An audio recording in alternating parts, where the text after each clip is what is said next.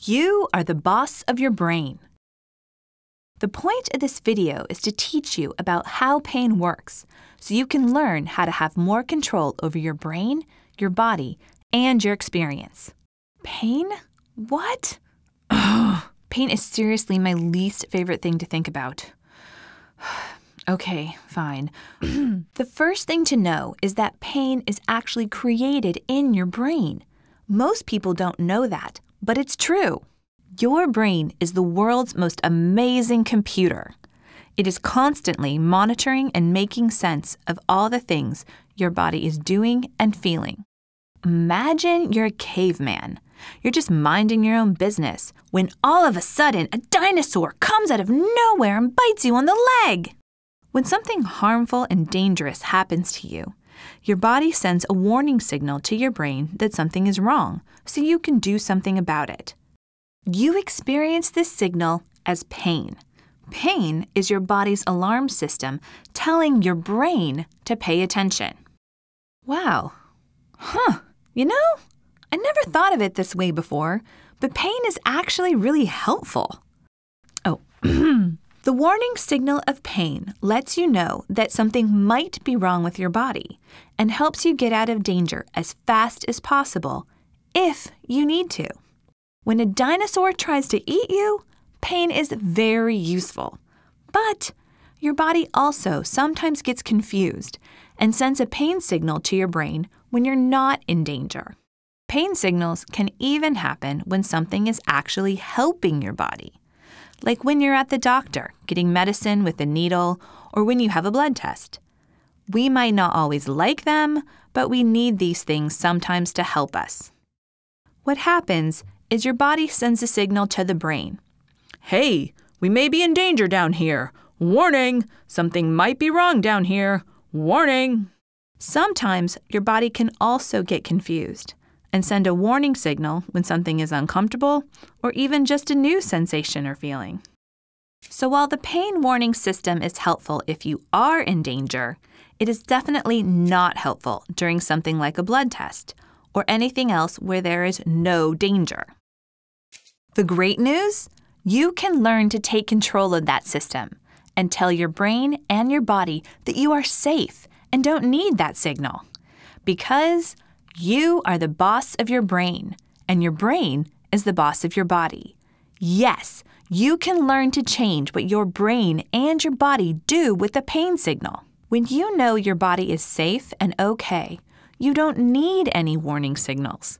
You can turn down the feeling of pain with surprisingly little effort and make yourself feel a lot more comfortable and a lot more in control. Your brain works like a powerful computer, and you can learn to take control of this computer to make it do what you want it to do. Here's how it works this is the pain signal coming to your brain. When you don't do anything and just focus on the sensation, the brain receives the signal at full strength. You feel 100% of that sensation. But there are at least five skills you can learn to change that signal. With these five skills, you can change the pain signaling system in your body and in your brain so that you are more comfortable the next time you need to have a medical procedure. Skill number one distract yourself. We've all had the experience of being so focused watching a movie or playing a game that we didn't hear someone calling our name your ear still takes in the sound of that person calling your name, and your ear still tries to send the signal to the brain. But your brain is so distracted with paying attention to what you want to pay attention to that it just completely ignores the signal from your ear. Your smart brain knows that signal isn't important to you right now, so it just tunes it out. Distraction works the same way with a pain signal. Have you ever noticed a bruise on your knee at the end of the day but didn't know where it came from? You try to think back to your fun day playing sports or just being active with your friends, and you realize you didn't feel any pain, even though you must have bumped your knee pretty hard at some point. You didn't feel the pain because your brain was so focused on playing and having fun, and your brain knew you didn't need that warning signal. When you're about to get a needle, you can distract yourself on purpose to be more in control. You can choose to distract your brain away from the pain signal by watching a video you like or using a distraction card so that it is easier not to be bothered. When you focus your attention away from the pain signal, it is making the pain smaller in your brain. You are turning down the pain and maybe even turning it way, way down. It's pretty powerful to know that whatever we pay attention to gets bigger, and what we don't pay attention to gets smaller. Skill number two use your imagination. While you already know how to disappear into your incredible imagination by daydreaming when you're bored or just want to be somewhere else, what you might not know yet is that you can also daydream on purpose so that it is easier not to be bothered by an uncomfortable feeling. Using your imagination fills your brain with the sights, sounds, and feelings of another place and time. Then it's easy and natural to let go of anything that bothers you.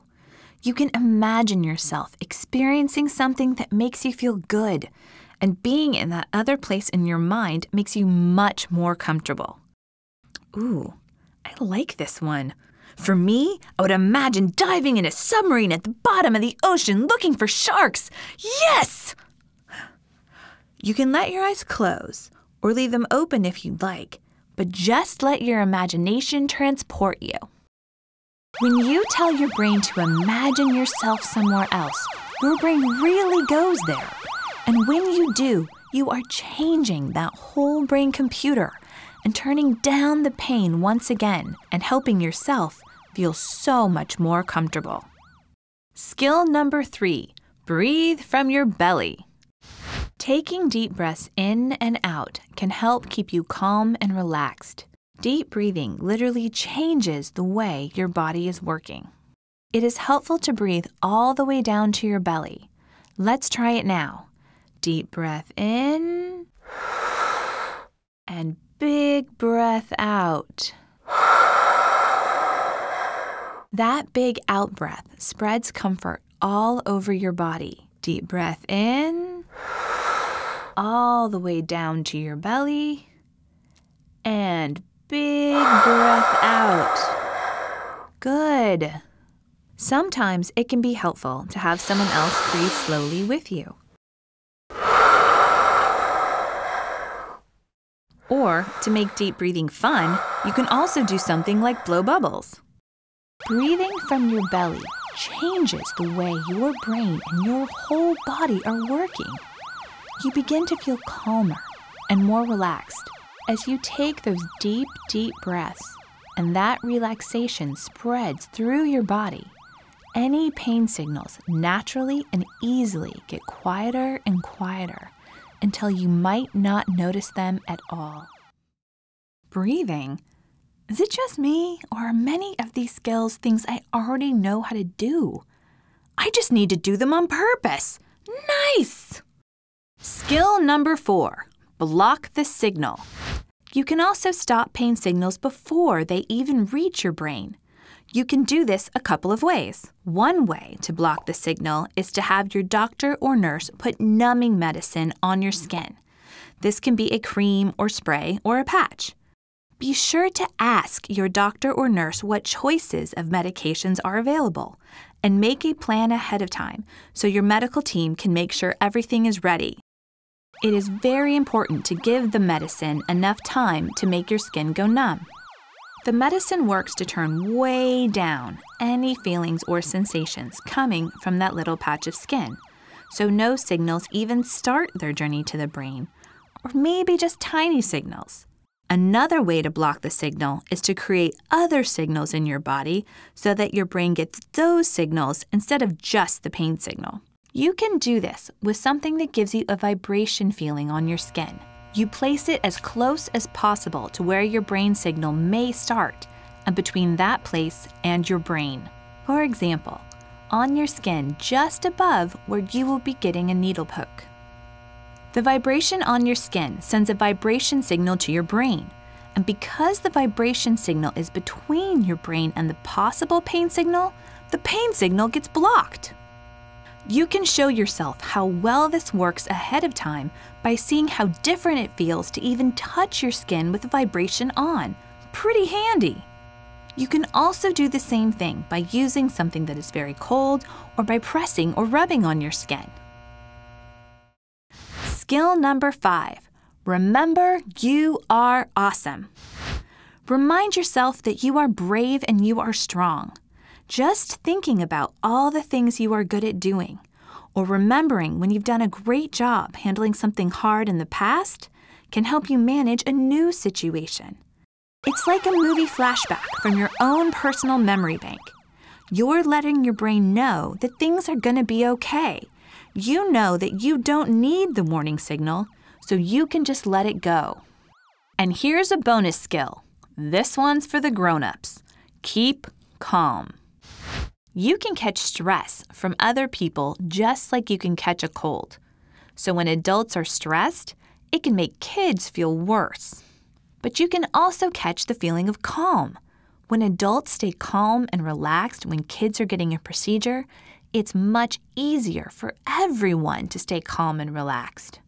Even better, kids should tell adults what they would like the adults to do during the procedure to help.